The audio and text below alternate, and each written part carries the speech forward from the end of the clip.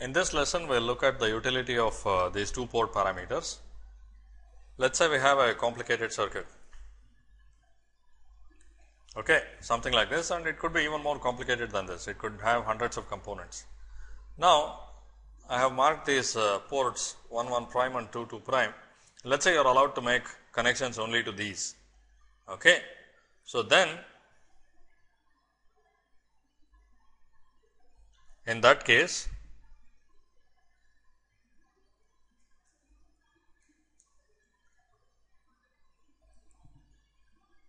Okay. So, I will represent this as a box and you are allowed to make connections only to these terminals. Okay. So, in that case you do not need to analyze the circuit over and over. You can imagine that analyzing such a circuit is quite a job, it is complicated, right. And like I said, it could be a lot bigger than this. This is only limited by what I could draw in a short time. It could have hundreds of components. As long as you are allowed to make connections only to uh, two ports, then the whole thing can be reduced to a set of two port parameters and it can be anything. You could choose y parameters, z parameters, h parameters or g parameters. Okay.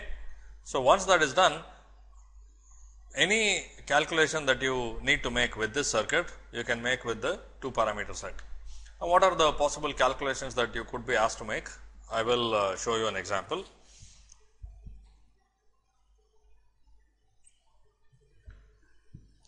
For instance, let us say you had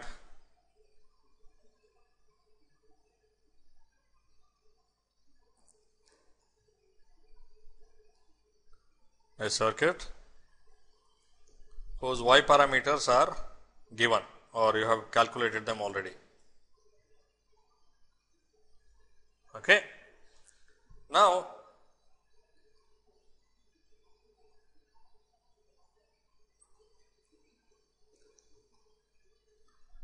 I could connect a source like this V s in series with a resistance R s and I could have a load resistance to this side and I define the voltage across the load resistance to be V naught. Now, I need to calculate V naught by V s. Now, I took this scenario because this is a common one involving amplifiers. On one side you connect a source, the source could be imperfect. So, it has a series resistance and on the other side you connect a load. Okay.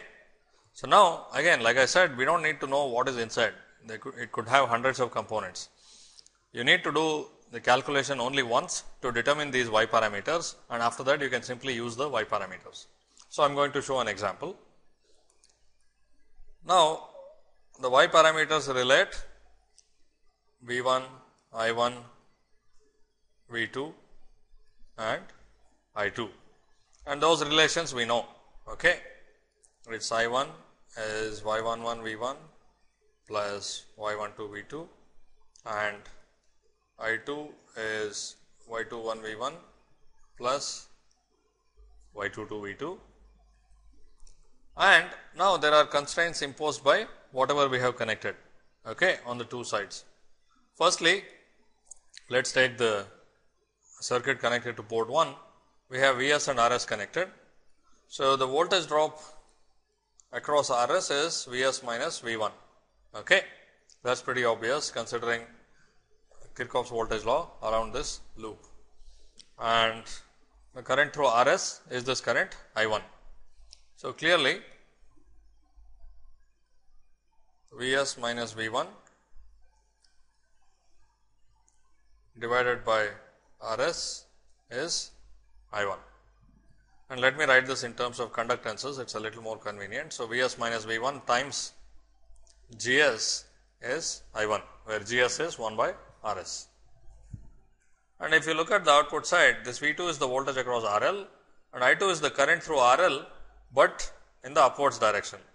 So, you see that I 2 is nothing but minus V 2 by R L or minus V 2 G L okay.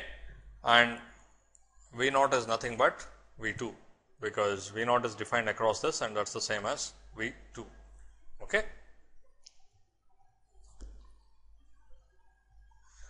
So, now from these we have uh, two equations relating the voltages and currents of the two port. This is a generic relationship for the two port and whatever we connect on the outside imposes some constraints. We add to that and solve for V naught by Vs or V naught in terms of Vs. We eliminate all of the intermediate variables V1, V2, I1 and I2. We have enough equations to do that. Okay. So, let us go about doing that thing.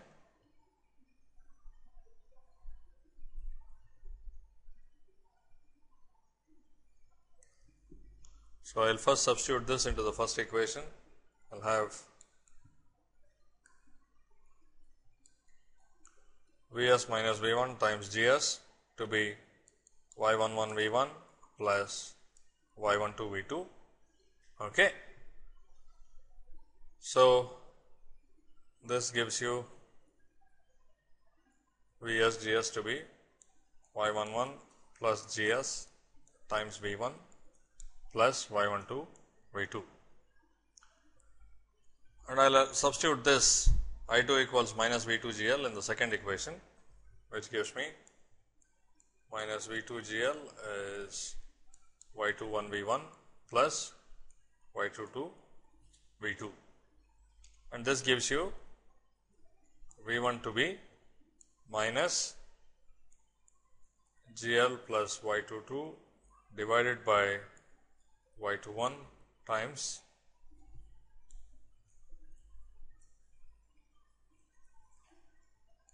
V 2. Okay.